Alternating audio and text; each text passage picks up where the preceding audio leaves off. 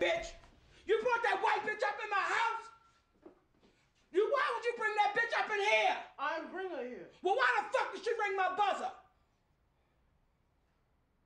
I can't hear you, Precious. Since you got so much motherfucking mouth and you gonna bring a bitch up in my house, why would that bitch ring my goddamn buzzer? I ain't telling her to come here.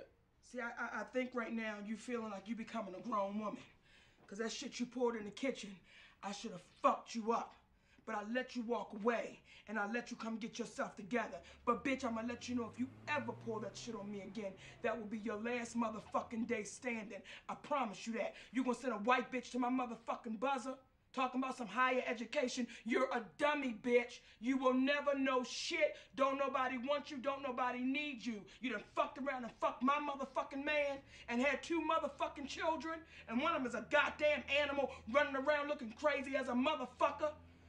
Bitch, you know what? See, I think, I think you trying me. I think you're really trying to fuck with me. You fucking with my money. And you gonna stand up there and look down at me like you're a motherfucking woman? I'ma show you what real women do, bitch. See, you don't know what real motherfucking women do. Real motherfucking women sacrifice. I should have aborted your motherfucking ass. Cause you ain't shit. I know the day the doctors put you in my goddamn hand, you wasn't a goddamn thing. And you had that smirk on your face, bitch.